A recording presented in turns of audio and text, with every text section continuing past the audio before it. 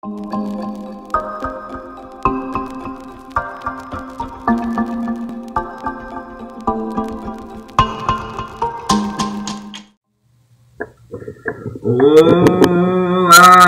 muito bom dia, boa tarde, boa noite. Brasil! E aí, tudo bem com vocês? Tudo bem? A partir de agora, o Jornal André Morim, Jornal cheio de notícias sobre edição número, ou melhor, edição número, né?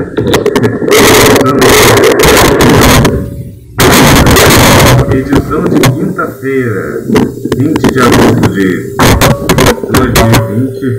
Vamos ao manchete. Prefeitura assinatura para testar medicamento contra a Covid-19. O governo do Rio estabelece a retomada das aulas presenciais a partir do dia 14 de setembro. Covid-19. Rio ultrapassa 200 mil casos confirmados e mortes quase chegam a 15 mil no Rio de Janeiro.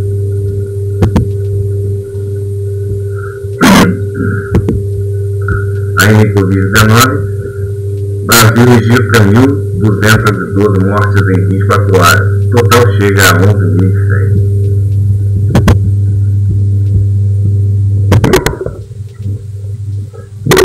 Pela primeira vez desde abril, o Brasil mostra desaceleração no contágio de coronavírus. O novo coronavírus, né?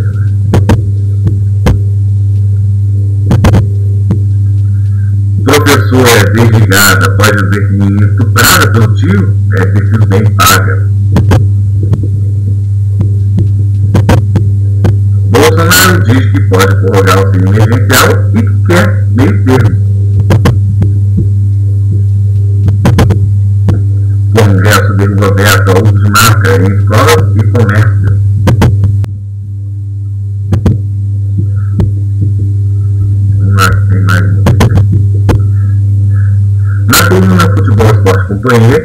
Gabigol desencanta no fim e evita a derrota do Flamengo diante do Grêmio no Maracanã.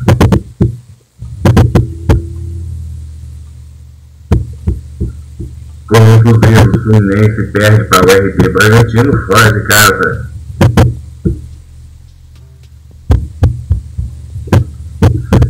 Reforços aguardam brecha para mostrar serviço no encaixado Vasco da Gama.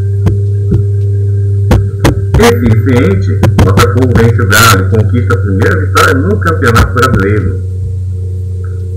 E levou né, a invencibilidade do, do, do Galo, né? Com a soberba, um pouco com a soberba do Jorge São Paulo.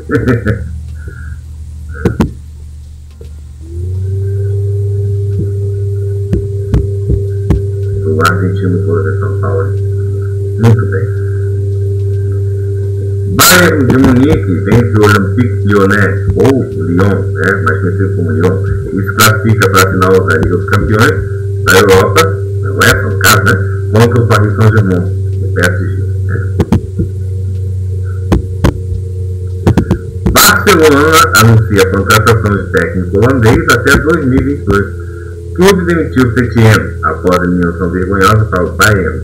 Ah, não, você já foi, né? Desculpa, gente. Ah, o clube demitiu Setien após a eliminação vergonhosa para o de Munique. Eu fui ver a data, né? Mas a data é data.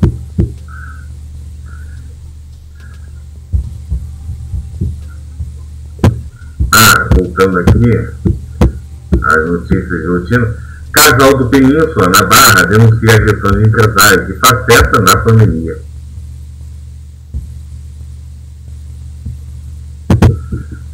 Agora vamos lá, tem notícia do os destaques né, na, na coluna Gaza. A atriz que interpretou Chiquinha afirma que Jay e da personagem são seus. Da Cilindrina, né?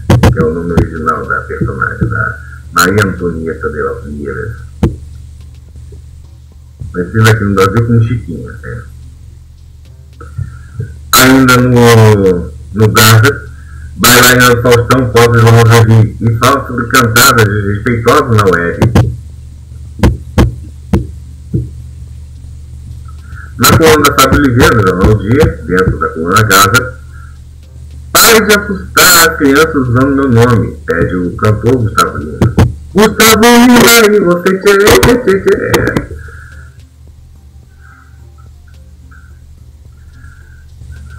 É, dentro da coluna Drop, dentro da coluna Gaza, Romero Brito se recusa a responder perguntas sobre barraco no Conversa com Bial. E ainda, Nanda Costa pede Lanã em casamento no dia do orgulho lésbico. E mais, na coluna Fábio Oliveira do Jornal Dia, dentro da coluna Gaza, Vitória Estrada beija a namorada. Quanto orgulho que eu tenho da gente. Daqui a pouco você vai conferir também as notícias da, do Notizap e, e os destaques lá e a piadinha do dia no Áudio no JA. E o Jornal também começa agora.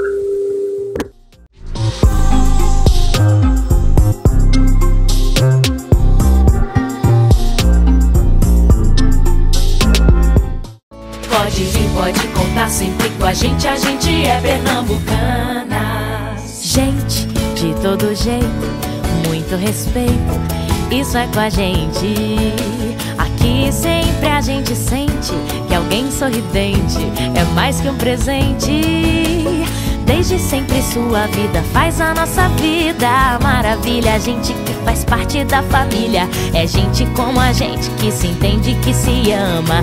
Isso, minha gente, é gente pernambucana. A gente tá junto para o que der e o que vier. A gente está sempre por perto. De peito aberto, gente, para te abraçar. A gente é tanta gente, muito pra contar. E pode vir, pode contar sempre com a gente. A gente é pernambucana. Sua vida faz a nossa vida. E pode vir, pode contar sempre com a gente. A gente é pernambucana. E você aí? É, você aí que tá aí curtindo uma boa o Jornal André Moim. Já deu seu like? Bem gostoso neste vídeo? Não, cara, dê, dê seu like, dê seu like bem gostoso. Assim, você vai fazer o canal André Morim crescer ainda mais no YouTube e vai me fazer mais conhecido, não só no YouTube, mas também em outras redes sociais, né? E nos canais de comunicação, nos meios de comunicação, quem sabe, né? Ah, quer saber o, o nome do meu canal? Aqui está, ó, canal André Amorim, o canal cheio de vídeos até o fim. Canal André Amorim.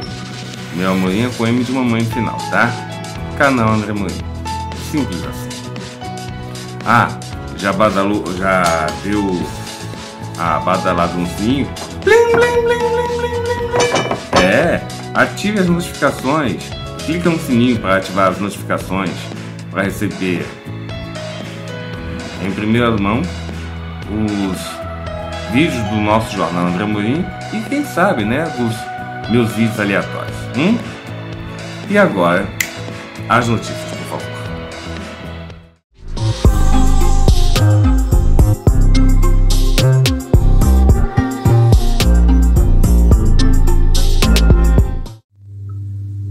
Prefeitura assina termo para testar medicamento contra a Covid-19. Ensaios clínicos não terão custo para a Prefeitura do Rio.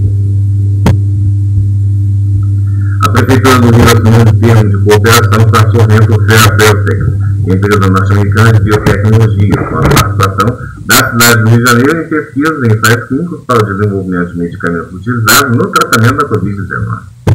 Os ensaios clínicos não terão custo para a Prefeitura do Rio, eles já estão acontecendo em outros países, com uma boa perspectiva de resultado no tratamento de pacientes com Covid. Ao início dos testes no município, é necessário aguardar a liberação do medicamento pela Anvisa e a avaliação dos produtos pelo Comitê de Ética em Pesquisa da Secretaria Municipal de Saúde. Após a aprovação, voluntários serão selecionados para os testes clínicos e, para isso, assinarão um termo de consentimento. Os selecionados para o ensaio clínico serão pacientes já diagnosticados com a doença. Ainda não há número de pessoas que participarão desses testes do medicamento, desenvolvido pela Sorrento, que é composto de um coquetel de anticorpos para neutralização do, é, da Covid-19.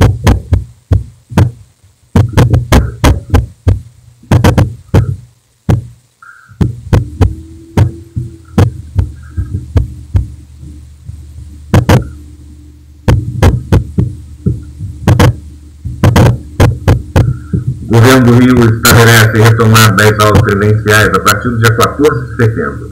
O decreto também prevê a reabertura de estabelecimentos culturais com protocolos sanitários.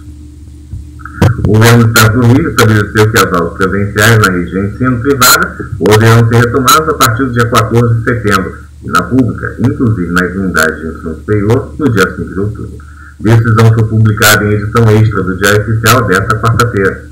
A medida vale apenas para regiões que permaneçam em baixo risco de contaminação pela Covid-19 por no mínimo duas semanas seguidas antes da data prevista para a abertura.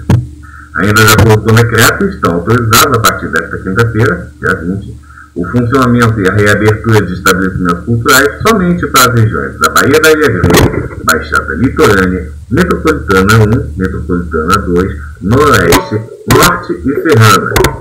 É, no caso da região serrana, é, está com a bandeira amarela. Ou são só, ou além da, da ah, a região serrana estava com a bandeira amarela. É. Não sei se as outras regiões também estão com a bandeira amarela, não sei, mas enfim.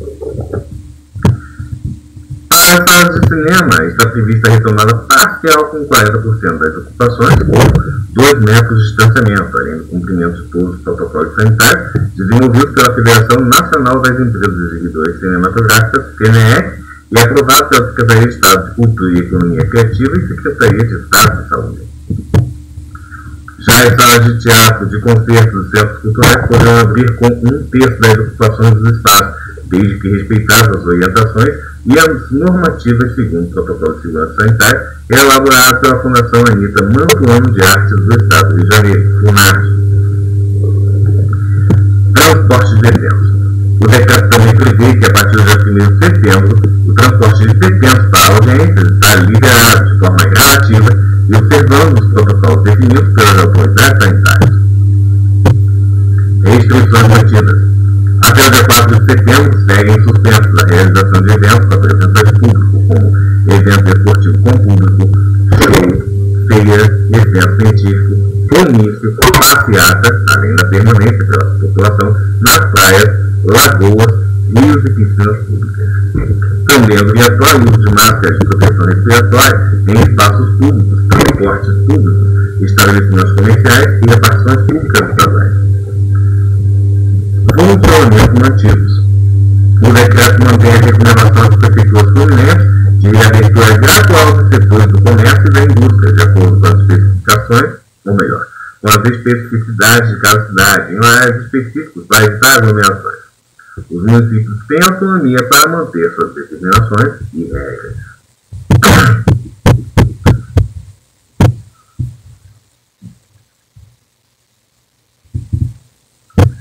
Modelo trans é agredida dentro de casa em Copacabana e tem maxilar e nariz quebrados. Jovem de 25 anos ficou com vários hematomas pelo corpo e ainda teve o apartamento destruído. A modelo Alice Félix, ou Alice Félix, desculpa, de 25 anos, foi brutalmente agredida dentro de seu próprio apartamento em Copacabana, na zona sul do Rio. A agressão aconteceu na madrugada de domingo, quando Alice, que é transexual, estava em casa com um homem de aparentemente 20 anos que conheceu em um barco lá com sua residência. Ela teve maxilar, o nariz e vários dentes quebrados, especificados por muitos A advogada da modelo, Oliveira, conta que ali, que é de Vitória do Santos, está no Rio há cerca de 5 anos, conheceu o rapaz quando esteve em um bar na rua Miguel Lemos para comprar uma cerveja. Ela viu o rapaz lá, trocou olhares com ele e pediu para o garçom lhe entregar o número do seu telefone. Estava indo embora, o rapaz foi até ela, perguntando onde ela morava. Isso ofereceu para ir lá ficar com ela, contar a advogada. No apartamento, os dois beberam a cerveja que a Alice havia comprado. Inclusive, voltando ao bar para comprar outra por algumas vezes. Segundo a advogada, o rapaz pediu para usar cocaína e a modelo, apesar de não ser usuário de drogas, deixou. Depois eles foram tentar ter uma relação sexual. O rapaz não conseguiu ter. Foi quando ele começou a ficar nervoso. Ele chegou a comprar um estimulante sexual mas não fez efeito. Foi quando ela sugeriu que ele tomasse um banho junto para que ele relaxasse. Nada. Depois do banho, Alice pediu para ele fazer uma massagem nela. A advogada conta que as agressões começaram neste momento. Quando ela deitou na cama, ele se aproveitou que ela estava de costas para começar a agredi-la. Primeiro, ele agarrou o pescoço dela, como se fosse estrangulá-la. Ela reagiu e, começou, e ele começou a esmurrá-la, a jogá-la no chão esfregar sua cara na parede, nos lugares e quebrando um vidro do apartamento no corpo dela, detalhe. Ameaçando de morte. O agressor chegou a pegar uma faca na cozinha, ameaçou matar Alice, pedindo para ela deixar o bairro. A modelo implorou por sua vida, até que ela ficou desacordada. Foi quando o homem revirou o apartamento e pegou cerca de 3.600 reais que ela tinha guardado. Ele ainda retirou o chip do celular de Alice, de Alice e quebrou. Quando acordou, cerca de duas horas depois, Alice correu para pedir socorro aos vizinhos. Um deles a atendeu e chamou a polícia. Eles imaginavam que o, que o agressor ainda poderia estar no apartamento ou pelo edifício. Alice procurou atendimento médico no Hospital Municipal Miguel Couto, na Algarve. Lá ela ficou sabendo que teve maxilar e o nariz quebrado. A modelo publicou um desabafo nas redes sociais lamentando o episódio. Agressor identificado. A modelo só conseguiu fazer um boletim de ocorrência nesta terça-feira, quando foi a 13 terceira delegacia policial em Ipanema. Lá, ela ficou sabendo que o homem tem diversas passagens pela polícia, principalmente por se envolver em confusão com o público LGBTQIA+. Quando estávamos no IML para fazer exame de corpo de delito, a delegada nos chamou de volta para fazer o reconhecimento de um suspeito. Lá, a Alice o reconheceu por falso, afirma Procurada pelo jornal Dia, a assessoria da Polícia Civil limitou a dizer que o agressor foi identificado e reconhecido pela vítima e que diligências estão em andamento para esclarecer o fato, sem dizer como o crime será classificado. Multada pelo condomínio.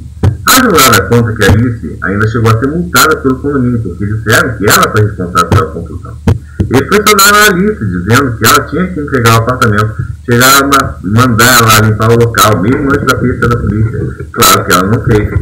E vamos recorrer nessa decisão absurda, avisa a advogada. A boa notícia, diante de tanta violência, é que diversos famosos, como Pablo Vittar e Pedro se solidarizaram com o que aconteceu com a modelo. Eles pediram punição ao agressor e colaboração para a vaquinha que a modelo organizou para retomar a vida. Até a publicação da reportagem, a campanha já havia arrecadado mais de 145 mil reais. Meta era 90 milhões. O caso também fez com que a modelo ganhasse milhares de seguidores nas redes sociais, dos cerca de mil no Instagram. Antes, agora, ela já acumula mais de 300, de 370 mil. Polícia pede prisão suspeito de agredir a modelo trem Alice Félix. Lucas Marques, de 24 anos, está foragido. Delegada pede a colaboração da sociedade para encontrá-lo. A Polícia Civil já identificou e decretou a prisão temporária do suspeito de agredir a modelo trans Alice Félix, de 25 anos, espancada dentro de seu apartamento no último domingo em Copacabana, na Zona Sul.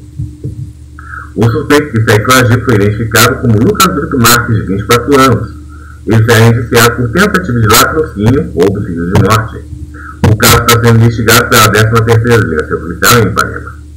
A delegada Bianca Lima, titular da 13ª DP, informou que o criminoso tem uma extensa ficha criminal desde quando era menor de idade.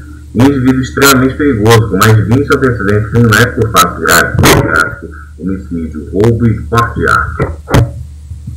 Pedimos a colaboração da sociedade para que entre em contato caso tenha alguma informação sobre ele, reportou a delegada.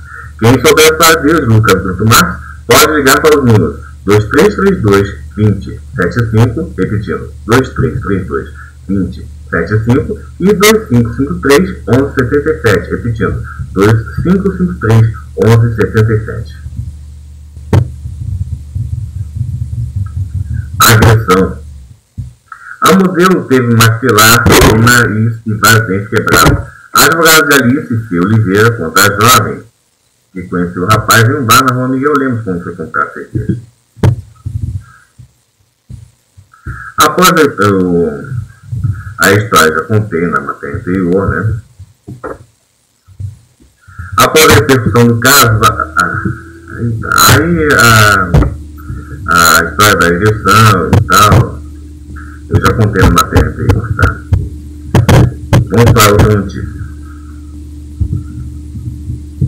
Covid-19 Rio ultrapassa 200 mil casos confirmados e mortes quase chegam a 15 mil. Nas últimas 24 horas foram registrados 3.513 novos casos e 185 novos óbitos. Secretaria de Estado de Saúde, SES, atualizou os números da Covid-19 no Rio de Janeiro. De acordo com o boletim desta quarta-feira, são 202.993 casos confirmados e 14.913 mortes em decorrência da doença. Nas últimas 24 horas foram registrados 3.503 novos casos e 185 novos óbitos. Há ainda 917 óbitos em investigação e 336 foram descartados. Entre os casos confirmados, 182.513 pacientes se recuperaram da doença. Os casos confirmados estão distribuídos é, da seguinte maneira. De Janeiro, 83.735. São Paulo, 10.200. Niterói, 10.134. Duque de Caxias, 7.158. Macaé, 6.633. Belfor Roxo, 6.142. Nova Iguaçu, 4.932. Volta Redonda, 4.170. Angra Reis, 4.411. Campos Goitacás, 3.948. Itaboraí, 3.742. Teresópolis, 3.308. Magé, 2.743. São João de Meriti, 2.732. Maricá, 2.701. Itapeúna, 2.302. Queimados, 2.160.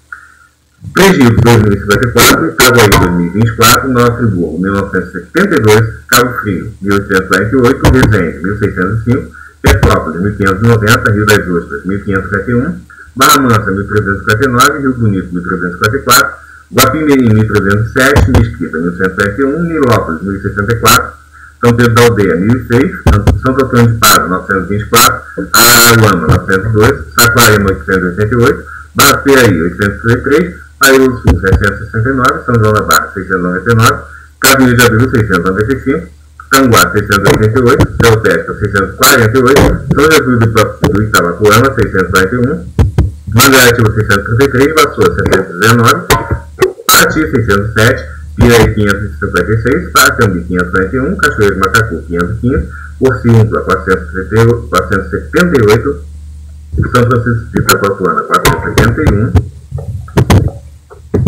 Conceição de Macabu 476 e Iguabajane 431, Valença 418, Pinheiral 399, Issamã 380, São José do Bairro Rio Preto 374, Natividade 372, Amação dos Búzios 347, Miracema 338, Sapucaia 312, Itaocai 303, Italva 297, Itatiaia 273, Jateí 271, Cardoso Moreira 270, Maricai 260, Capibu 255, Porto Real 244, Rio Claro também 244, Miguel Pereira 226, São Fidel 222, Lago Noiaé 219, API 10, é, API 10 167, Partido Ofé 165, Campo X 144, Arraial 149, Arraial do Cabo 146, São José do Bar 133, Silva Jardim 131, Coati 121, Bom Jardim 117,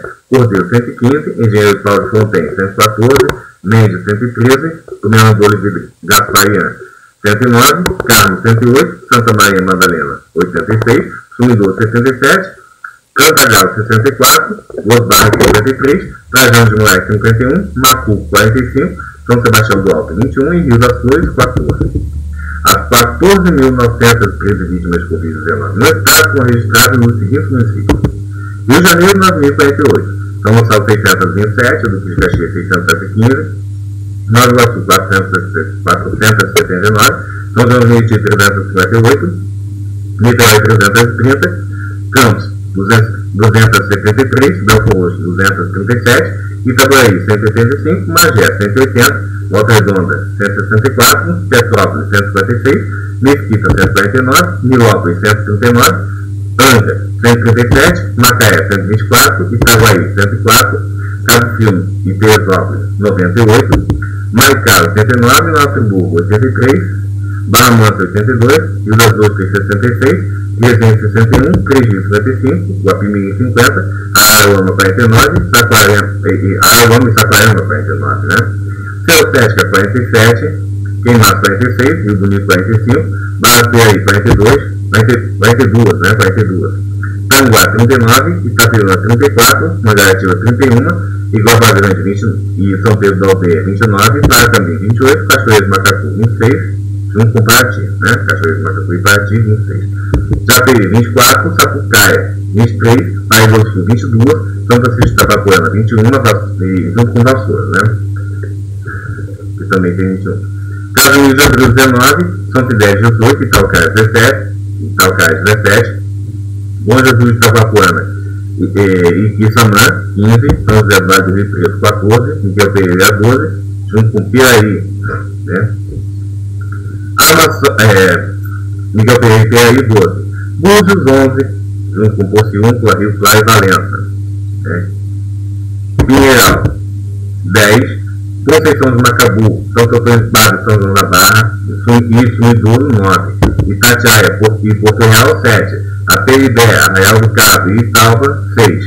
Arraial e Patidofés, 5. Catebudo Silva Jardim, 4. Bom Jardim, Comendador Livre Gasparian, Engenheiro Paulo Fontaine, Miracema. Inatividade, 3 mortes. Cambuci, Carmo, Macuco, Mendes, Rio das Flores e Santa Maria Madalena, 2 mortes. E Cantagalo Cardoso Moreira, Cordeiro, 2 barras, Quartinho São Sebastião do Alto, do Alto, uma morte.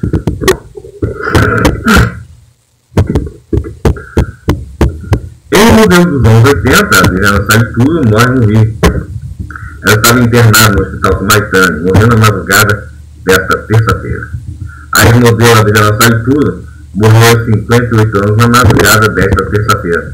A empresária carioca estava internada no Hospital Sumaitane, em Botafogo, na zona sul do Rio. A unidade de saúde não informou a causa da morte. A Adriana fez sucesso nos anos 80, nas gerações modernas que contavam com Lisa Bonet, que Evans e da Cotrofa. Ela participou de desfiles, estampou capas de revistas e atuou como atriz no filme Uma Nova Radical. Atualmente, a modelo atuava como empresária. Ela é uma das sócias do complexo gastronômico Porto da Barra, em Búzios. A Adriana Santos é velada, ou melhor, foi velada é, na quarta-feira, 19, a partir das 10 horas da manhã, no cemitério São João Batista, em Botafogo. Voltando à Covid-19, Brasil registra 1.212 mortes em 24 horas. Total chega a 11.100, ou 111.100, com 49.298 novos registros da doença de, de 18 para 19 de agosto, o número total de confirmações de Covid-19 no país chegou a 3 mil, ou melhor, o total de confirmações de Covid-19 chegou a 3.456.652. O Brasil registrou 1.212 novas mortes por Covid-19 nas últimas 24 horas, elevando o total de óbitos da doença a 111.100 segundo dados divulgados nesta quarta-feira pelo Ministério da Saúde. Com 49.298 novos registros da doença de ontem para hoje, o número total de confirmações de Covid-19 no país chegou a 3.456 é, melhor, 3.456.652. Destes, 2.615.274, 75,7%, correspondem aos que se recuperaram e 730.298, ou 730.298, aliás, o equivalente a 21,1%, estão ainda em acompanhamento do Ministério da Saúde. O, o dado do Ministério não significa que todas as mortes ocorreram nas últimas 24 horas. Os casos, no entanto, estavam em investigações, foram confirmados neste período, há cerca de 3.173 mortes em investigação. São Paulo é o estado com maior número de casos do novo coronavírus, 721.367, e atingiu um total de 27.591 óbitos nesta quarta-feira. Em seguida, a Bahia tem 224.659 registros de Covid-19, com 4.611 mortes. O Rio de Janeiro tem 2.000, ou melhor, 202.993 casos confirmados da doença e 14.913 óbitos pela Covid-19. Caminhando próximo aos 15 mil óbitos. Né? Então, que coisa. Pela primeira vez desde abril, o Brasil mostra desaceleração do contágio de coronavírus. Nova, nova configuração, contudo, não significa controle estabilizado da transmissão. Pela primeira abril, o de transmissão da Covid-19 está em desaceleração no Brasil. De acordo com dados do Centro de Controle de Epidemias do Imperial College, a taxa de contágio, RT, no país foi de 0,98, número que indica quantas pessoas são infectadas em média por cada paciente novo coronavírus. Os dados foram verificados na semana que começou no domingo. Isto significa que 100 pessoas contaminadas contagiam outras 98, que, por sua vez, passam a doença para outras 96. Essas contaminam 94, e assim sucessivamente, o que comprova a desaceleração do contágio. Em julho, o país apresentou taxas de 1,01, situação definida como fora de controle. O Brasil deixou a zona vermelha pela primeira vez depois de 16 semanas consecutivas de taxas de transmissão acima de 1. A nova configuração não significa controle estabilizado da, da transmissão. Nos últimos sete dias, a média móvel de novos óculos foi 979 a cada 24 horas pelo novo coronavírus. O país registrou na terça-feira 18 é, terça-feira 18 de agosto, na verdade, 1.365 mortes e 48.637 novas infecções de coronavírus, segundo dados do levantamento realizado pelo Estadão, G1, o Globo, Extra, Folha São Paulo e UOL, para a Secretaria Estadual de Saúde.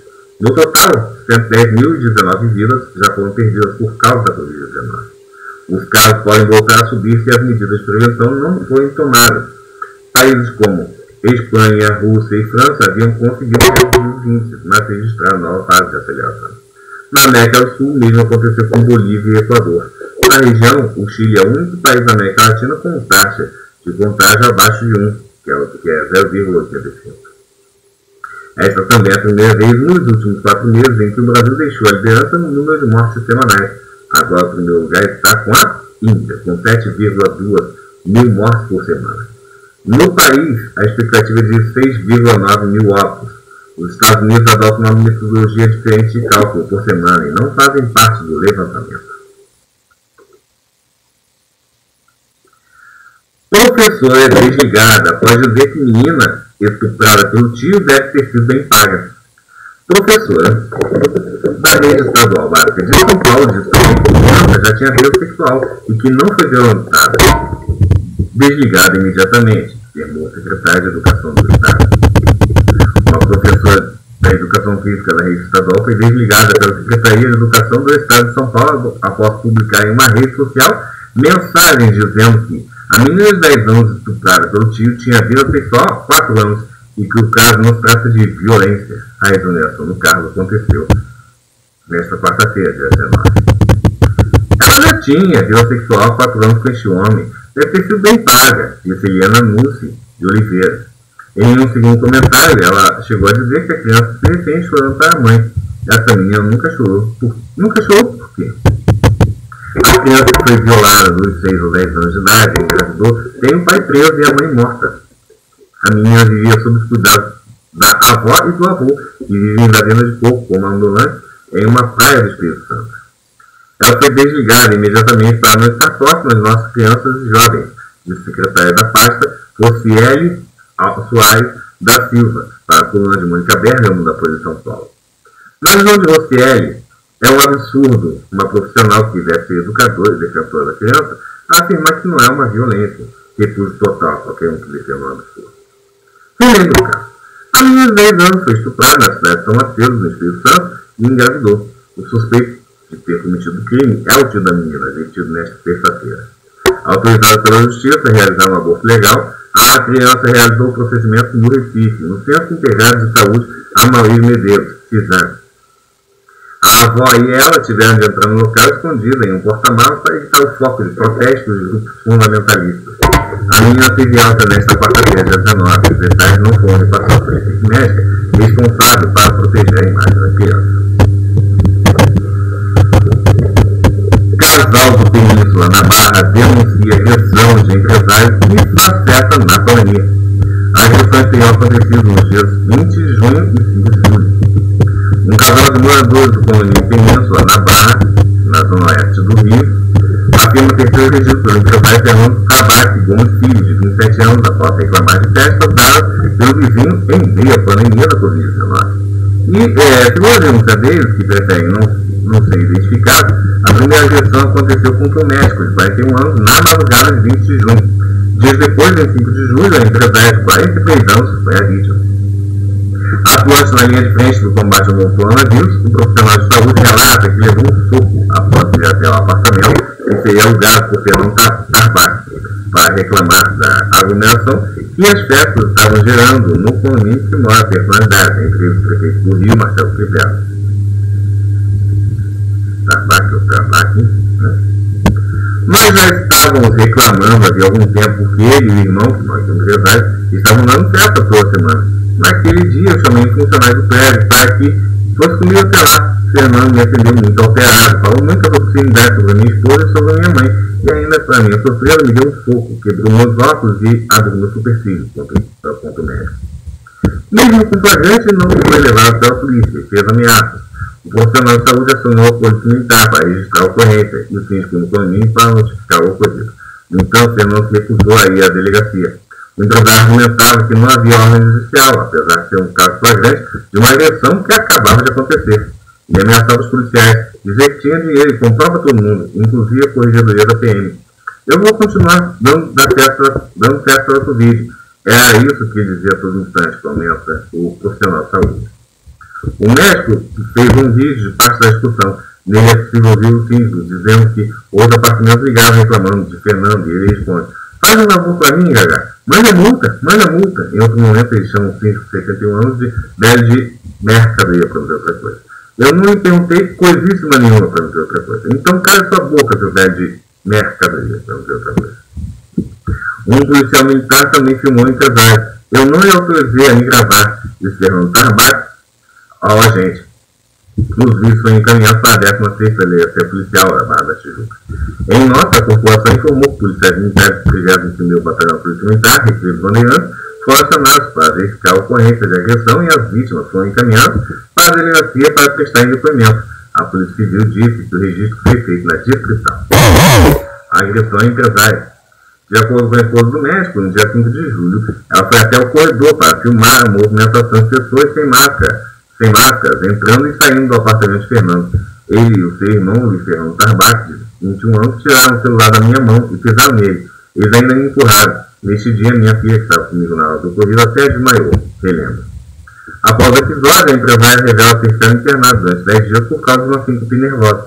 Eu estou muito triste, eu choro todo dia. É um nível de maldade. A gente já perdeu 24 pessoas próximas para a Covid-19 e tem essas pessoas com esse desrespeito, lamento.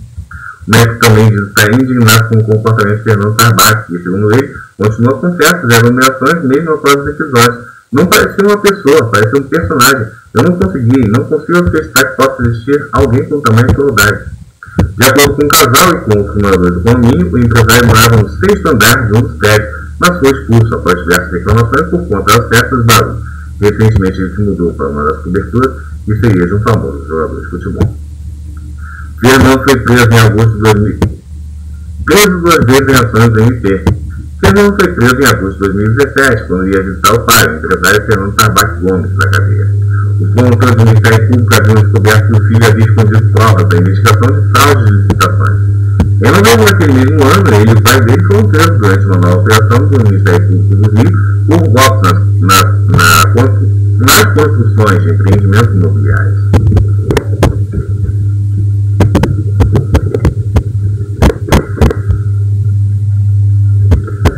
Bolsonaro diz que pode prorrogar o auxílio emergencial, que quer meio termo.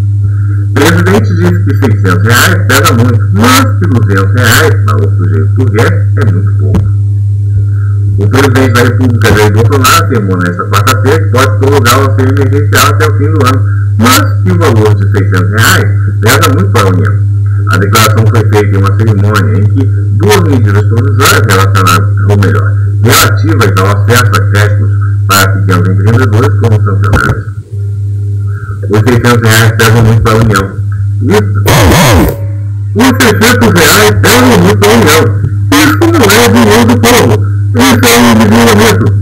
Se o país endividar mais, perde a sua credibilidade para o futuro. O presidente da economia falou em 200 reais.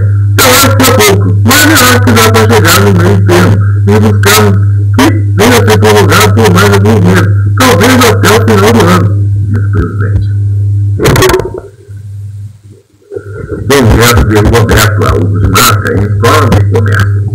Outro método derrubado garante assistência a indígenas e quilombolas. Congresso Nacional analisou nesta quarta-feira mais uma série de vetos presidenciais, aliás, aprovadas pelos parlamentares. Dentre os vetos derrubados estão aqueles ao projeto que prevê atendimento médico e sanitário para populações indígenas e quilombolas durante a pandemia. O Congresso também derrubou o veto ao projeto que obriga o uso de máscaras em locais fechados. Os trechos vetados e agora restritos às, respectivas leis com a votação. Os senadores seguiram um acordo enviado pela Câmara, pela Câmara na votação da manhã e derrubaram um conjunto de vetos em uma votação em grupos, quando agrupam as medidas a serem analisadas. Com os derrubados, fica valendo a lei que transfere terras da União para Roraima e Amapá e a que torna obrigatório o uso de máscaras em escolas, templos religiosos, comércio ou indústria durante a pandemia. O veto derrubado diz respeito ao plano emergencial de atendimento a indígenas e quilombolas. Com a decisão de hoje do Congresso, fica garantido o acesso à água potável, a distribuição gratuita de materiais de higiene, limpeza e de desinfecção para as comunidades indígenas. Além disso, o plano também vai prever a oferta emergencial de leitos hospitalares e de unidades de terapia intensiva, UTI, aos indígenas, e aquisição de ventiladores e de máquinas de oxigenação sanguínea. Vetos iniciados pelo Senado.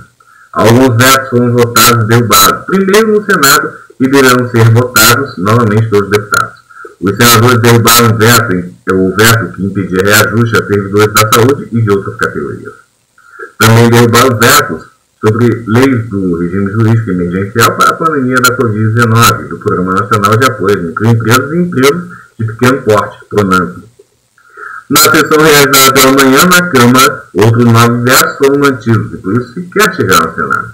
Entre eles, o veto ao projeto que limitou a ajuda emergencial para o setor cultural na pandemia. Uma parte dos vetos foi analisada na semana passada, outra parte foi analisada é, é, é, foi analisada quarta-feira, 19, e ainda a previsão de uma nova votação de vetos no início de setembro. Entre eles estão os vetos ao pacote anticrime sancionado em dezembro do ano passado.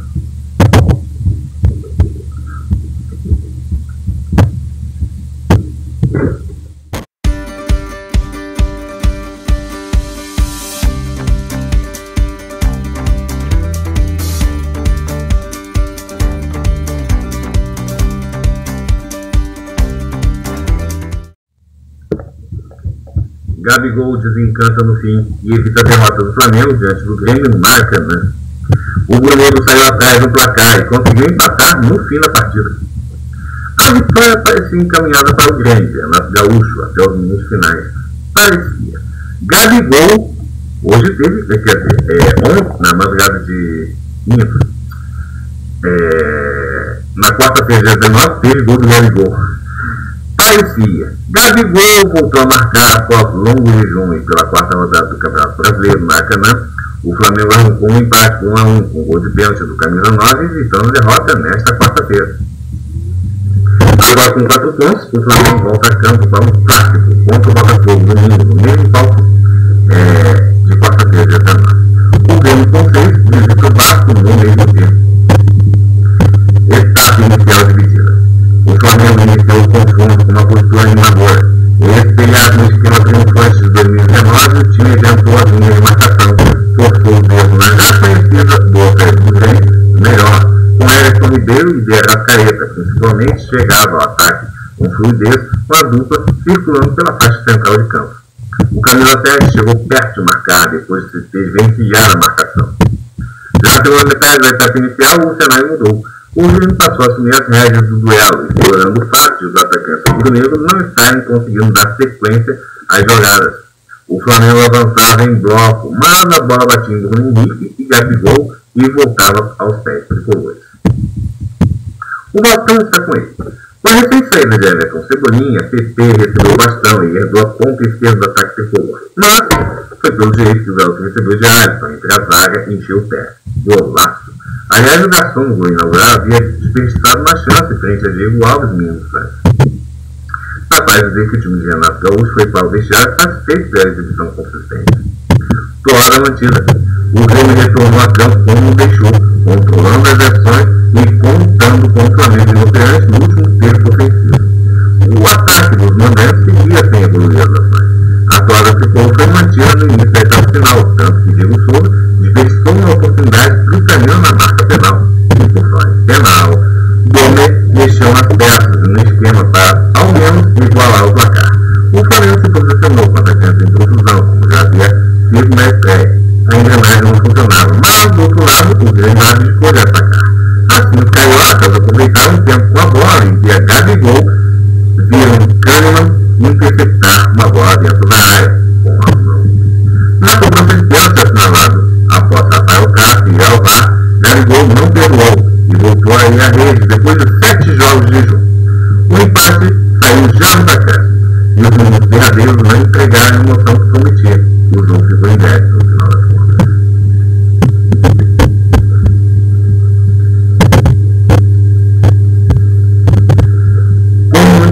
das Fluminense perde para o RB Bragantino fora de casa. No 2x1, Tricolor comete falhas defensivas, não aproveita espaço no ataque e o daí mexe mal. Bragança Paulista doou pouco a alegria do Tricolores e o Fluminense voltou a tropeçar no Campeonato Brasileiro. O time até mostrou pequena evolução no sistema ofensivo, chegando mais ao ataque, mas voltou a cometer muitos erros de passe que comprometeram a criação. Além disso, o tricolor falhou na defesa e foi punido com a derrota por 2 a 1 para o Red Bull Bragantino, que venceu a primeira após quatro rodadas com gols de Alejandro e Luiz Felipe, com o Nenê é, descontando. Na verdade, o Nenê empatou, né, quando o jogo estava 1 a 0 Mas é, o Red Bull Bragantino acabou desempatando a partida. Foi um início de jogo meteórico, com dois gols com apenas um minuto. Na primeira chegada, Alejandro aproveitou falha de Muriel em chute de longe de Matheus Jesus para abrir o placar para o, RB, para o RB Bragantino. O Fluminense saiu com a bola e empatou em belo chute fora da área de Nenê, após jogada de Michel Araújo. Os dois jogadores tricolores mudaram de posição em relação à última partida, e a troca deu certo. Tanto que Nenê, centralizado com o Uruguai mais à direita, ainda deu um passo para Ivanilson perder chance incrível aos 7, parando no goleiro. E o, Red Bragantino também desperdiçou a sua em chegada de Arthur aos 16, chutando para fora. Apesar do equilíbrio das chances em duelo corrido, o Bragantino era melhor, pressionando a saída de bola e aproveitando o espaço na defesa tricolor pelas laterais e na intermediária. O Fluminense, mesmo errando passos demais, até equilibrou a partir dos 30. Mas o que se viu foi um show de coisas erradas dos dois lados até o fim do primeiro tempo, tanto que a outra chance só foi aparecendo nos acréscimos Muriel espalmando chute de Claudinho. Após o intervalo, o Daí Helman a maionese, não, mentira, mentira. É só é, é, coincidência do sobrenome, tá, gente? após o intervalo, o Daí Helman, de volta ao comando da equipe, após ter testado positivo para a Covid-19, sacou Marcos Paulo em péssimo dia para apostar no jovem Henrique. E o Fluminense voltou melhor, ocupando mais o ataque e ficando com a bola sem errar tanto. Mas chance só mesmo uma. Um, é, com Michel Araújo, mas o goleiro Cleiton abafou e salvou. Com o Nenê perdeu intensidade, Ganso entrou aos 19 e o time que já vinha caindo de posição voltou a ficar menos com a bola no ataque. Ainda assim, o tricolor teve espaço e foi incapaz de aproveitá-los. Quando que o Bragantino soube fazer o 37 com o Luiz Felipe, recebeu a bola sozinho na entrada da área para chutar e fazer o segundo gol, após o Bruno Tubarão ganhar de e Dode, e Dode e cruzar.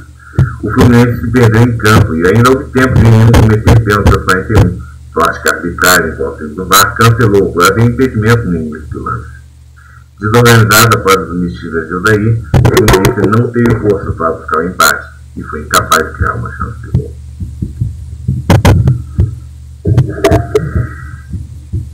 Reforços aguardam brecha para mostrar serviço no encaixado Vasco. Neto Borges, Carlinhos e Guilherme Paredes foram as últimas contratações para o brasileiro. A organização é um grande mérito de Ramon Menezes do trabalho à frente do Vasco. Com volantes com qualidade na saída de bola, Felipe Barros e Andrei, o treinador encontrou em Benítez o equilíbrio para acelerar a transição. Em evolução, o treinador crê que pode ganhar ainda mais com os reforços chegado. O, o apoiador Carlinhos e o atacante Guilherme Paredes aguardam uma brecha no entrosar o time a melhora no condicionamento físico será fundamental para a frente uma vaga. Neto Borges vive uma situação parecida. Após para a lateral esquerda, o baiano de 23 anos chegou com Henrique em ascensão com um novo posicionamento e varia fantástica no esquema de!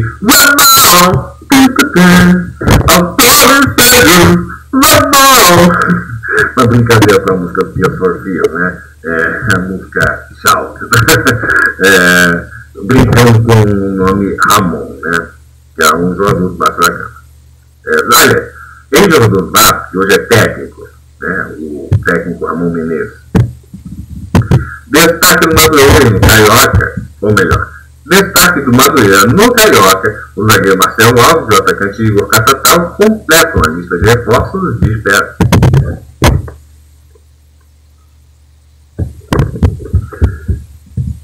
Eficiente, Botafogo vence o Galo e conquista a primeira vitória no Campeonato Brasileiro.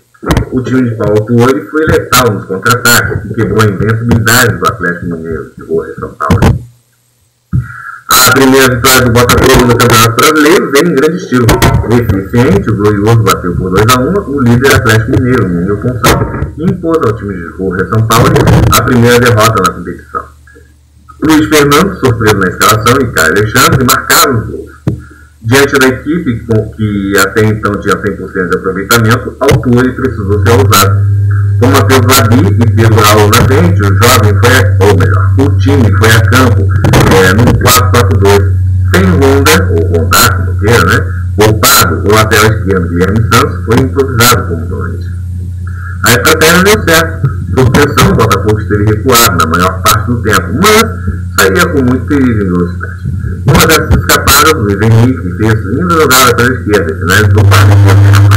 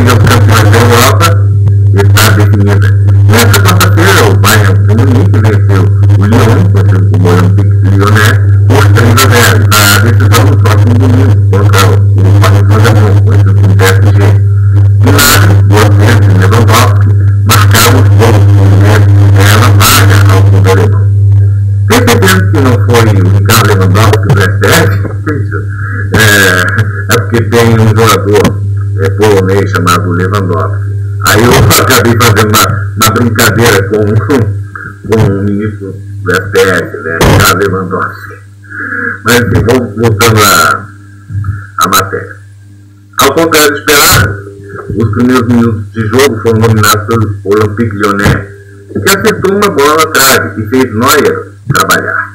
No entanto, aos 18 minutos da primeira chance do Bayern, Gnabry marcou a metade. Gnabry abriu, abriu o marcador. Abriu o placar, né? O alemão fez boa jogada individual e acertou um chute fora da área no ângulo de Lopes. 15 minutos depois, o atacante voltou a marcar após o cruzamento de Davis pela esquerda. No segundo tempo, o Olympique Lyonnais tentou chegar ao empate, mas sem sucesso. Nos minutos finais, ainda deu tempo para o artilheiro Lewandowski, não do SPF, né, o jogador polonês Lewandowski, deixar o dele e sacramentar a vaga na final. A decisão ocorre às 4 horas da tarde no, no Estádio da Luz. Barcelona anuncia a contratação de técnico holandês até 2022. Clube demitiu o Setien após eliminação vergonhosa para o Bayern de Munique. Após a demissão de, ou melhor, o desligamento, quer dizer, de Kik Setien, o Barcelona anunciou nesta quarta-feira a contratação do técnico Ronald Koeman. O holandês, o Ronald Koeman, o holandês de 57 anos chegou com a missão de colocar os trilhos do, do, Barcelona no lugar após uma eliminação vergonhosa para o Bayern de Munique pela Liga dos Campeões. Koeman será apresentado oficialmente aos torcedores a uma hora da tarde pelo horário de Brasília. É, é, na é, quinta-feira. Seu contrato vai até junho de 2022.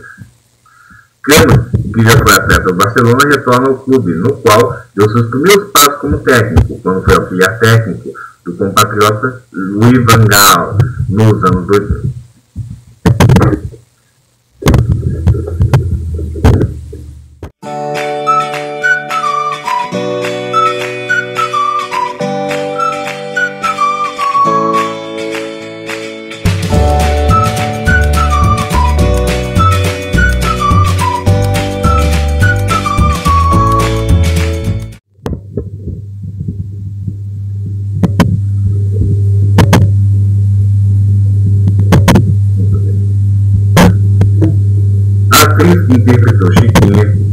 nome aqui de direitos autorais da personagem são seus.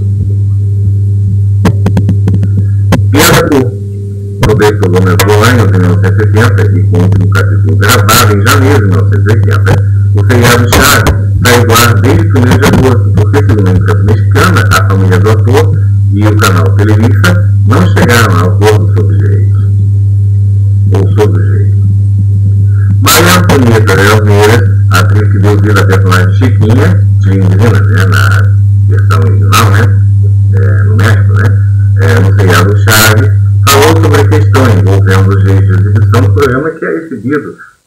pelo SBT e recentemente no Multishow, no Brasil, e saiu do ar neste mês de agosto. Eu não tenho visto o filho do Roberto Gomes Bolaños. o que eu posso dizer é que temos de nos falar, os PGs da Chiquinha são meus. Havia uma entrevista à direção da RedeTV na segunda-feira, diretamente. Em seguida prosseguiu. Se eles quiserem vender a série a alguma parte do mundo, sem meu consentimento, não poderiam usar, não usar a tilindrina, que é o nome original né, é, da Chiquinha. Ou falam antes comigo para ver como eu posso passar o jeito do personagem, ou estou com toda a disposição para. Melhor, é, perdão, ou falam antes comigo para ver como eu vou passar o jeito da personagem. Eu estou com toda a disposição para ajudar. Para mim é muito importante que o programa siga com a Chiquinha, que os desenhos sigam, é, que os desenhos sigam com a Chiquinha. Eles querem fazer um filme com a Chiquinha. Não pode haver protagonismo sem antagonista. Eu sou antagonista do programa, concluo. Criada por Roberto, por Roberto Gomes Bolaños em 1970 e com o último capítulo gravado em janeiro de 1980, o, che o seriado Chaves saiu do ar desde o 1 de agosto. Por quê? Segundo a imprensa mexicana, a família do ator e o canal Televisa, ou o grupo canal e o grupo Televisa, né, não chegaram a um acordo sobre direitos. Televisa, que significa televisão via satélite, né, é um grupo mexicano né, de comunicação. Embora estejamos tristes pela decisão, minha família e eu esperamos que Chaves esteja em breve na tela do mundo. Continuaremos insistindo. E estou certo de que conseguiremos, escreveu Roberto Gomes Fernandes, filho do ator no Twitter. Acha que era? Bom, enfim. Filho do ator no Twitter. Já Graciela Gomes, filha de Bolanho, postou. É uma pena que quem mais se beneficiou dos programas de Chaves afirme hoje que não vale mais nada. Aos seus filhos nos deixou sua cultura, seu amor, seu exemplo, seu estilo. Essa riqueza não pode ser quantificada. Os interesses econômicos não estão na família. Florinda Messa, intérprete da personagem da Florinda no programa e que foi a última namorada do ator, morto em 2014, aos 85 anos, lamentou a decisão, fazendo alusão aos momentos difíceis que o mundo vive com a pandemia da Covid-19. O que, acho, o que eu acho de Parar extremamente chato, embora não tenha nada a ver, porque inexplicavelmente é, não fui convocado para as negociações, acho que justo agora, quando o mundo mais precisa de diversão, fazer isso é uma agressão às pessoas. Escrever em sua conta na rede social. No Brasil, o programa foi exibido pelo SBT por décadas e, mais recentemente, também pelo canal Multishow.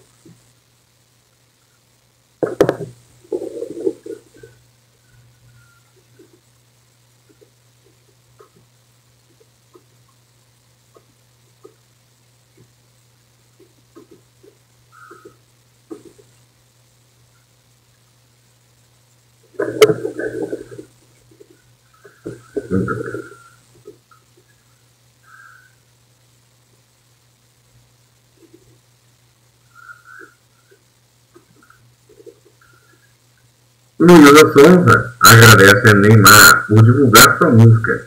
Maravilhoso. Jogador chegou ao estádio da Luz em Lisboa, escutando o hit Toma.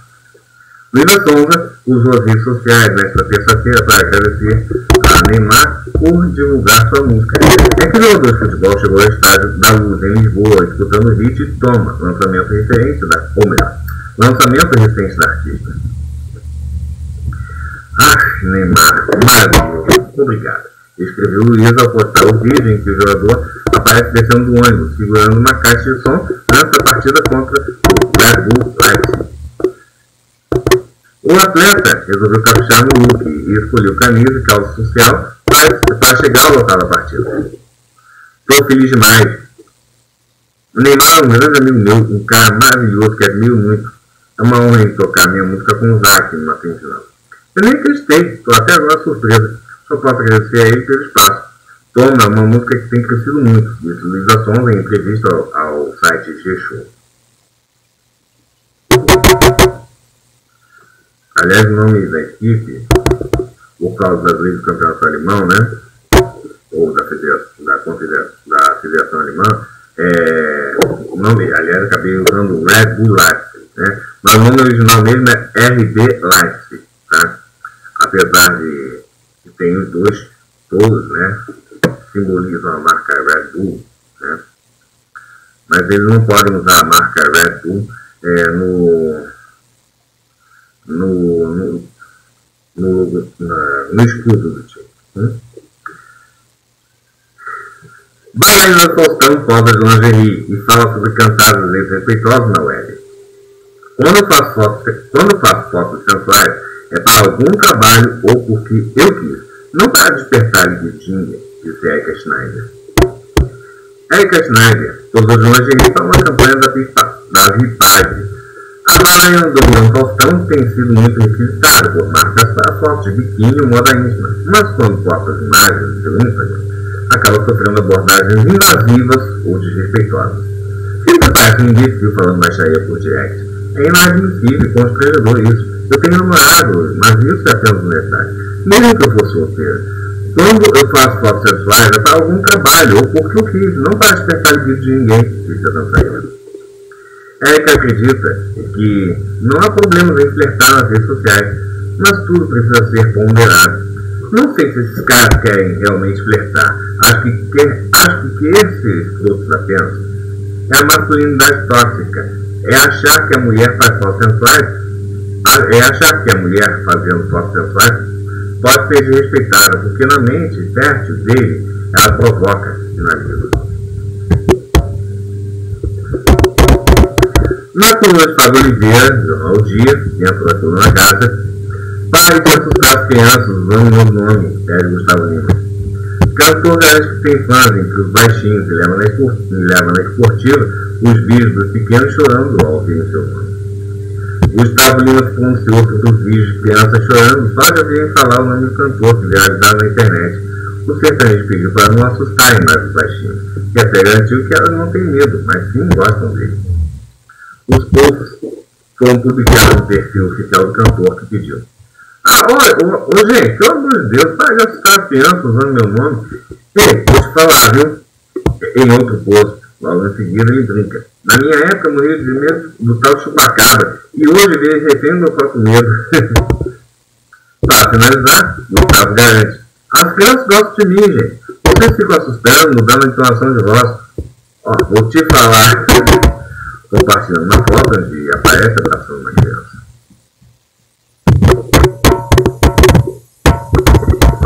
Romero Brito se recusa a responder perguntas sobre o barraco no Conversa com Bial. O apresentador se mostrou decepcionado com a atitude do artista. Romero Brito foi entrevistado no Conversa com Bial na noite desta terça-feira na TV Globo. O artista plástico, no entanto, deixou um pouco a desejar justamente no, no quesito conversa. Romero Brito se recusou a responder perguntas sobre o barraco que aconteceu em Miami, nos Estados Unidos, há três anos. A confusão viu assunto na, na, internet na semana passada. Tudo começou com, quando Madeleine Sanchez, dona de um restaurante, acusou Romero de ter sido grosseiro com sua equipe. A mulher quebrou uma escultura do artista plástico na frente dele. Pedro Bial contou que a entrevista com Romero Brito havia sido gravada há semanas antes da confusão ganhar conhecimento nas redes sociais. Por conta da repercussão, a equipe do Conversa, do, é, Conversa com Bial tentou entrar em contato com Romero para atualizar o programa com o assunto do momento. Tanto Bial quanto sua equipe foram ignorados. O jornalista chegou a mandar três perguntas para o artista plástico, mas não obteve resposta. Romero Brito apenas mandou um vídeo gravado em que repete coisas que já havia dito anteriormente. Infelizmente, Romero Brito não respondeu a nossa pergunta. Eu tinha perguntado se ele, ele estava conseguindo, conseguindo dormir bem no meio dessa crise toda. Também quis conhecer a versão dele sobre o que aconteceu no restaurante e perguntei por que só três anos depois desse vídeo veio a público, na minha tutorial, logo na abertura do programa. A gente espera sinceramente que essa crise se resolva logo. Ele é um brasileiro muito importante para todos nós e para a imagem do Brasil no mundo. Se ele tivesse respondido, teria sido legal para ele, para a marca dele, que movimenta centenas de milhares de dólares por ano. Teria sido legal para tantas pessoas, os desempregados que dependem do trabalho dele. E também teria sido bom para todos nós, fãs do Romero. E esses fãs, tantas crianças que o admiram demais, completou o apresentador. No depoimento em que ele enviou a conversa com Bial, o Romero Brito disse que Marilene Sanchez queria ficar famosa a qualquer custo. A respeito do vídeo que ela circulando na internet, o incidente ocorreu em 2017. Todos podem ver que fui vítima de uma pessoa que foi a uma de minhas galerias quebrou uma obra de arte que havia ganhado. Uma peça como aquela de porcelana ao quebrar poderia ter causado danos a mim, a ela ou a qualquer outra pessoa no local. Nunca apresentei tanto desrespeito em toda a minha carreira. Infelizmente, há pessoas que querem ficar famosas às custas de outras e levam aos extremos disso. Através da minha arte, meu propósito sempre foi levar alegria, amor e esperança a todos. Não admito desrespeito e jamais tive a intenção de respeitar alguém.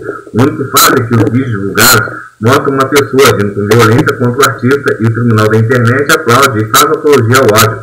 Não quero alimentar mais esse assunto ou a mídia. Eu preciso que a consciência dela ajude. Como dizem pelo mundo, a minha arte desperta um tipo de sentimento positivo, de alegria, e por isso é tão celebrada, seja por bilionários ou por pessoas simples. Infelizmente, temos pessoas criticando, lutando contra o sucesso dos outros, ao invés de focar em encontrar o seu próprio sucesso e a maneira de ajudar o mundo e ser relevante para a sociedade. Vou continuar minha missão de alegrar o mundo, que, como nunca antes, precisa de mais amor, felicidade, esperança e otimismo, finalizou. O Biel teve a coragem de convidar o Romero Brito para se justificar sobre o ocorrido e, ao invés de agir com de noção, resolveu ser egocêntrico e dizer que as pessoas ainda invejam seu sucesso tendo derrubar ele, ou seja, a Gulso deu palco, né? O que disse Vilhena no post do, Twitter, cuja conta é arroba LuizaCNBC. Luísa dela com um C, tá, gente? Putz, o Romero Brito na entrevista com o Biel falando que acha o American Dream maravilhoso e deveria ser o objetivo do mundo todo. Uma ideologia que prega a meritocracia, consumir ainda mais o patriarcado, institui padrões de consumo inalcançáveis, aliena a classe média, etc. Dobe, o elfo do México, arroba Marcezinho. Eu vendo a entrevista de Romero Brito no Bial, então, ele parece ser meio estilista, né? Parece uma pessoa que realmente faria o que a mulher o acusou. Carlinha, arroba Carlinha Menezes. Menezes, M-E-N-E-Z-E-S. Se eu tinha alguma dúvida, não tinha, sobre o nojo que é o Romero Brito, acabou. Está dando um show de arrogância na conversa com o Biel. Arroba Bel Underline Seixas. Romero Brito se perdendo no sotaque na entrevista com o Bial. Cada vez pior. Nissim, arroba Vimo Pérez. Com essa no final, tá, gente? Que vídeo ridículo do Romero Brito no começo do Conversa com Bial, falando sobre a mulher que quebrou a obra de arte dele. Prepotente, horrores, alegando que a mulher não tem sucesso e quis manchar o sucesso dele. Aí, colega, baixa tua bola. Bears, Big, Battlestar, Galáctica, arroba, Mari, com Y, né? Mary, né? É, underline, R-I-T-S, né? Hits, né? Então.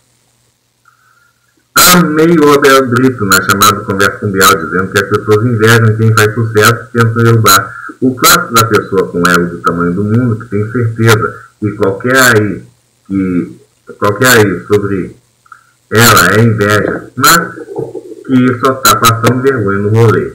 Ana Luísa, arroba Luísa, com Z, né? S Reis. Reis normal, tá gente? R-E-I-S. Nana Costa pede Lan em casamento no dia do orgulho lésbico. O momento do pedido foi publicado pela atriz em seu perfil no Instagram. Nana Costa pediu a percussionista Lan em casamento nesta quarta-feira, 19, data em que é celebrado o dia do orgulho lésbico. O momento do pedido foi publicado pela atriz em seu perfil no Instagram. Então, eu vou comemorar compartilhando com vocês o pedido de casamento com direito à aliança e beijo na noiva, legendou Nanda.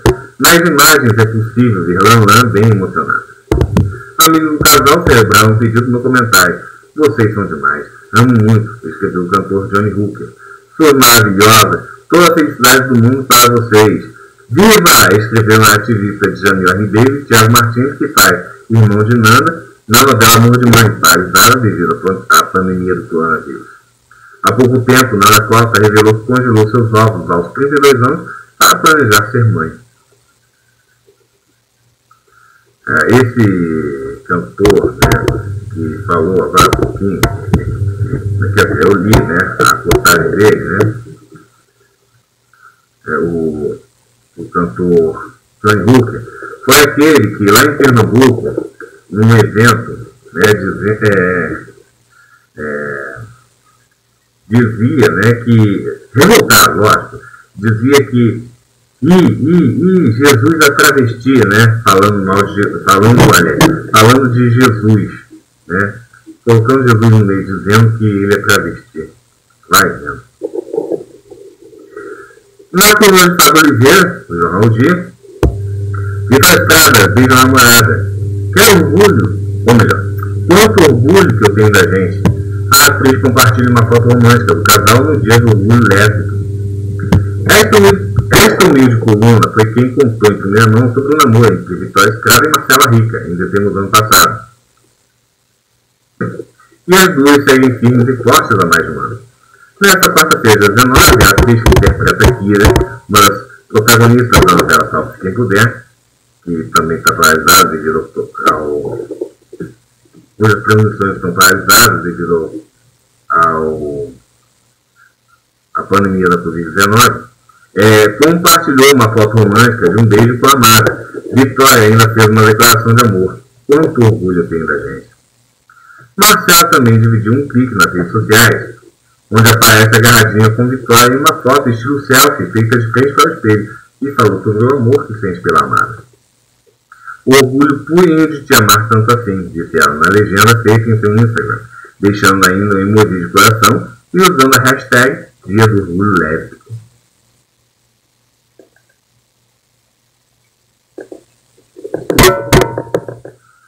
Aliás, as gravações foram retomadas, né, as gravações de Amor de Mãe e de Salve-se Quem Puder, novela das nove e das sete, respectivamente.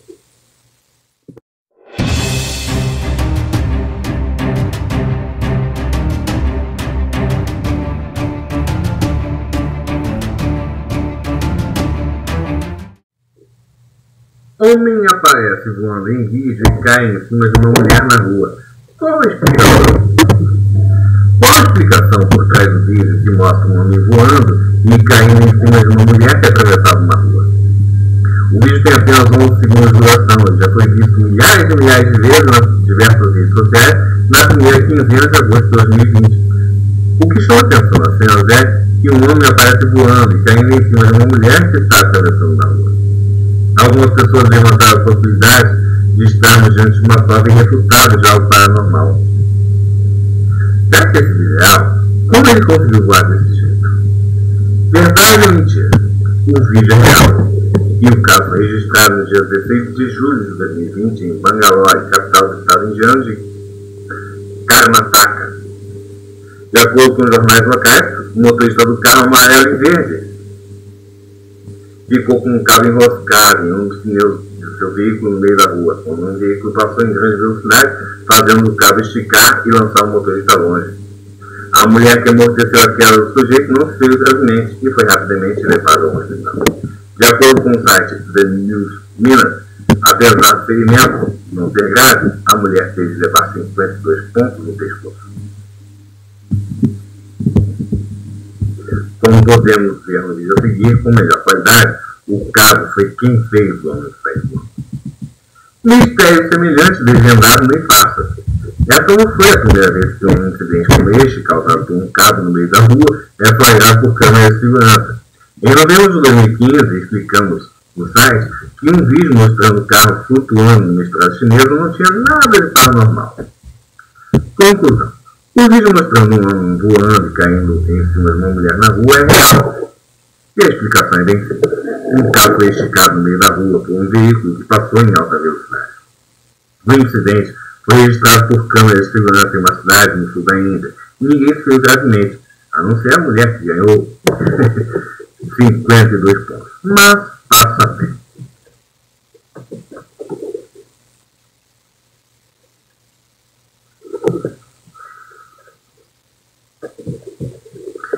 O Vale da Morte, na Califórnia, registrou recentemente a temperatura mais alta da Terra.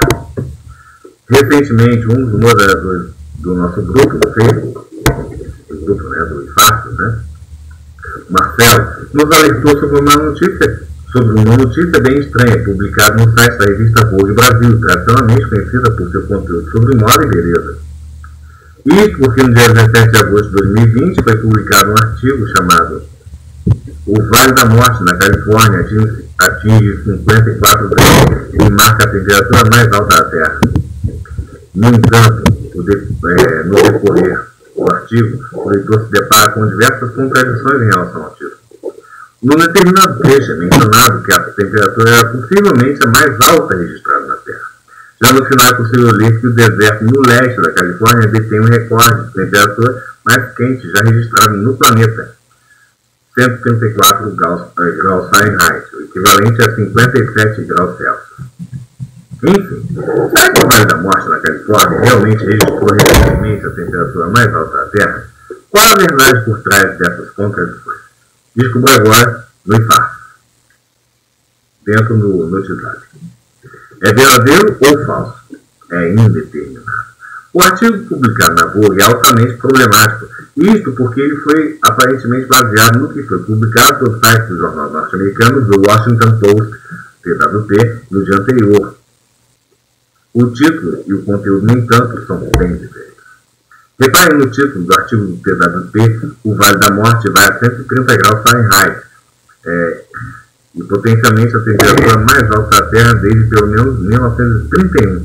No título do TWP não afirmou que temperatura ou melhor, que essa é a temperatura mais alta da Terra.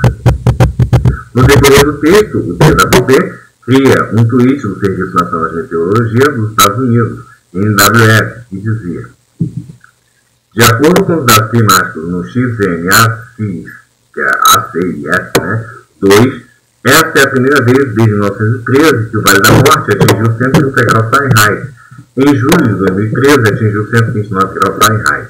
Se validado, seria a temperatura mais quente de agosto no local é, em 3 graus Fahrenheit. Segundo o TWP, se a temperatura fosse validada, também ficaria entre as três maiores temperaturas já medidas no planeta em qualquer época e poderia, de fato, ser a mais alta. Os dados, no entanto, estão em análise pela, OM, pela Organização Meteorológica Mundial, OMM. E para falar sobre isso, o TWP convidou o Christopher um historiador da meteorologia.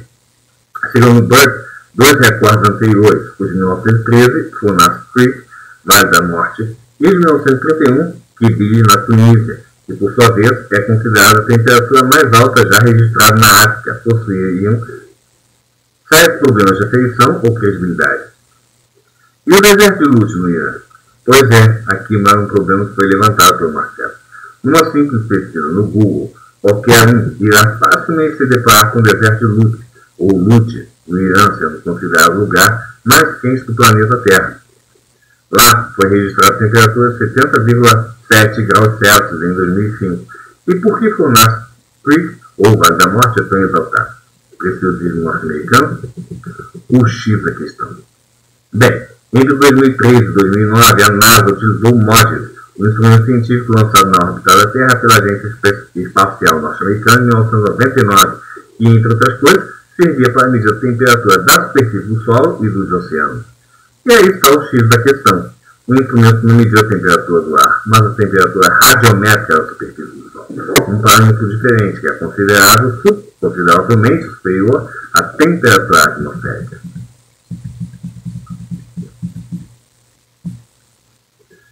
Para fazer uma leitura da temperatura do ar, de acordo com o padrão da Organização Meteorológica Mundial, um termômetro deve estar situado a 1,2 a 2 é situado de 1,2 a 2 metros acima do solo e protegido do sol direto, embora tampouco possa ser colocado à sombra de um edifício, montanha ou árvore. As temperaturas do ar devem ser medidas fora da luz solar direta, porque os materiais dentro e ao redor do termômetro podem absorver a radiação e afetar a detecção de calor. Isto sem contar diversos outros detalhes, é claro.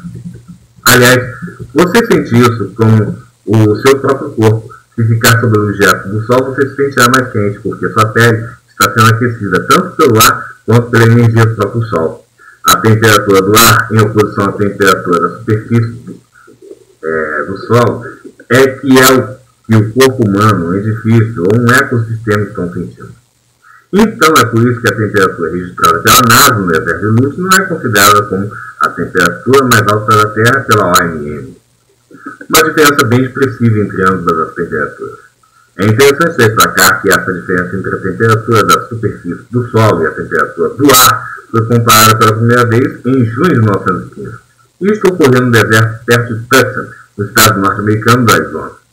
No sol do meio-dia, a temperatura medida é, de 0,4 centímetros abaixo da superfície do solo era de 71,5 graus Celsius, ou 160,7 graus Fahrenheit.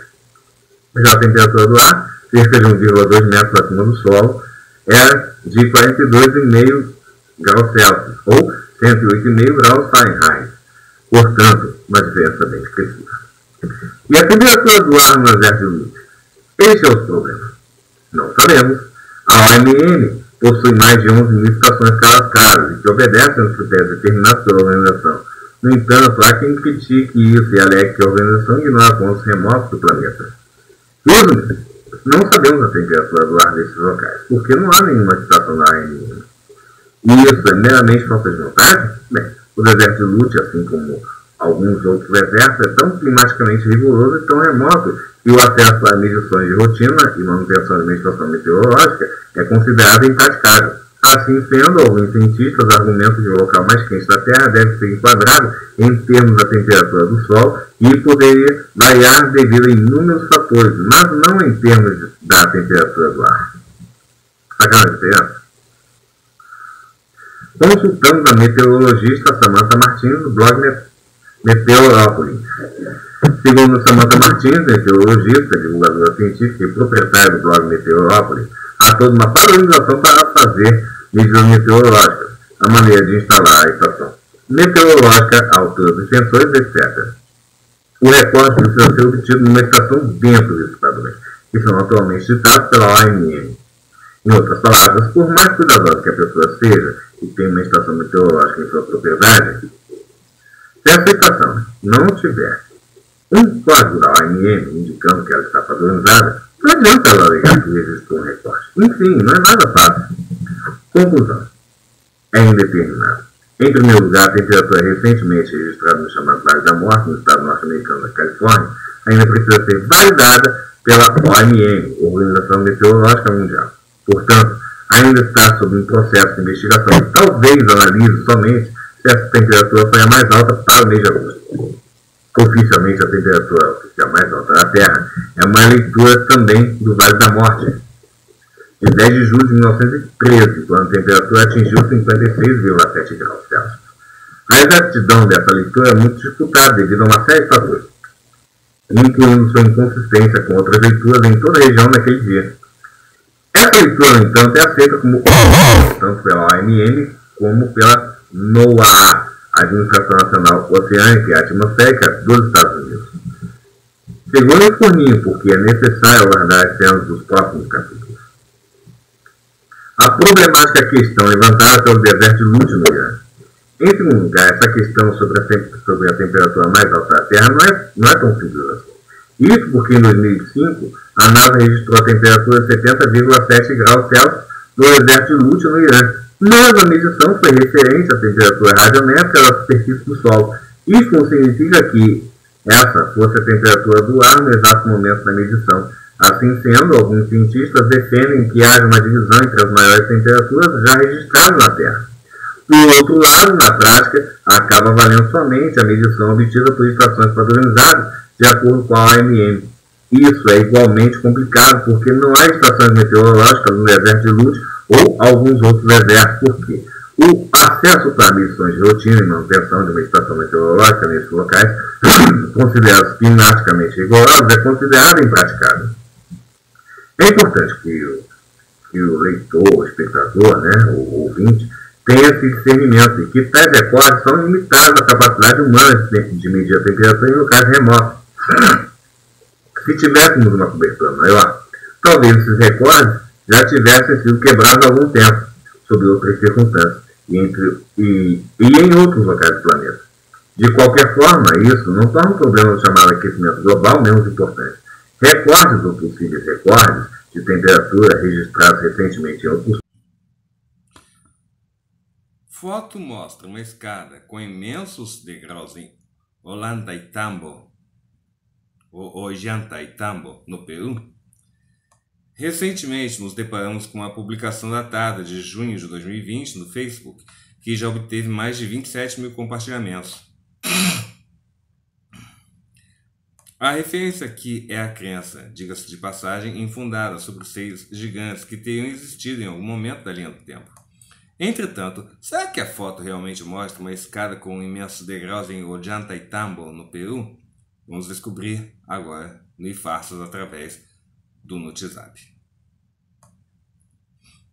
Ou dentro da coluna do WhatsApp. É verdadeiro ou falso? É fora de contexto. Embora a foto seja verdadeira, não estamos diante de uma escada com imensos degraus que servia como meio de acesso a seres gigantes. A foto retrata tão somente terraços agrícolas apelidados de terraço, é, terraços de Pumatales, em Ollantaytambo, no Peru. Aliás, essa técnica é até hoje aplicada em terrenos muito inclinados, permitindo seu cultivo e, simultaneamente, o controle da erosão hídrica. Portanto, nada de gigantes por aqui. Os terraços agrícolas de Ollantaytambo são um dos melhores exemplos de engenharia agrícola desenvolvidos pelos Incas. Eles têm 600 metros de comprimento, 58 metros de largura e 15 metros de profundidade. Tudo foi construído em relação à posição do Sol e do ambiente natural. As plataformas criam microclimas particulares que permitem o cultivo de diferentes produtos em áreas mais altas ou mais baixas. Portanto, novamente, nada de gigantes. Atualmente, o espaço ocupado pela cidade de Ollantaytambo é uma fração que teve na antiguidade. Conclusão: é fora de contexto. Embora a foto seja verdadeira, não estamos diante de uma escada com imensos degraus que servia como meio de acesso a seres gigantes. A foto retrata tão somente terraços agrícolas apelidados de terraços de Pumatales em Ollantaytambo, no Peru.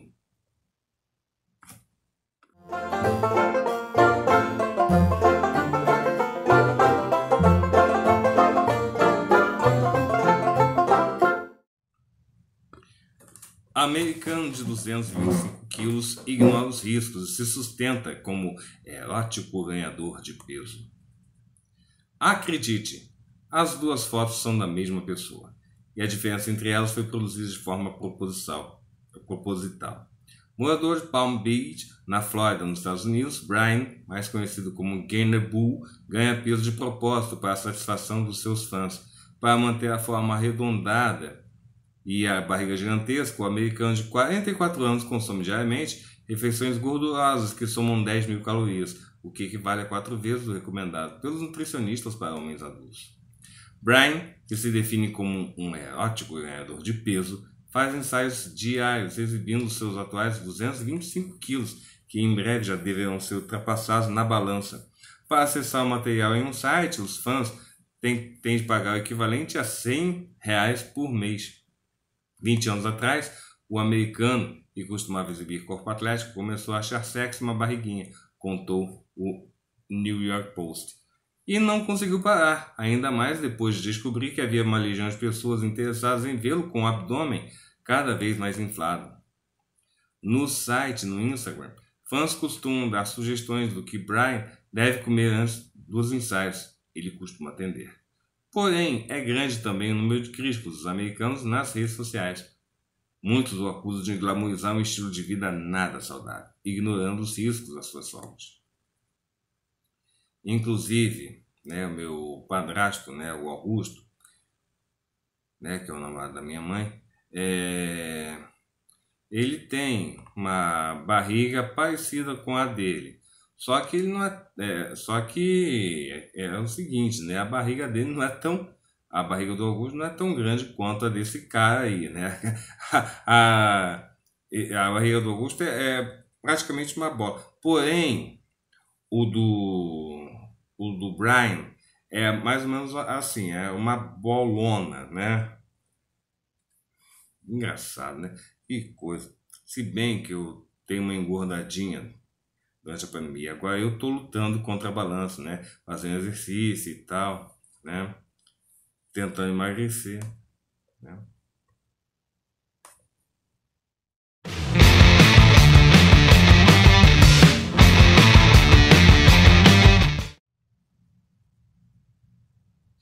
E a última do jornal André Mourinho, jornal cheio de notícias até o fim. Lula na academia. Duas luas conversando e a primeira conta.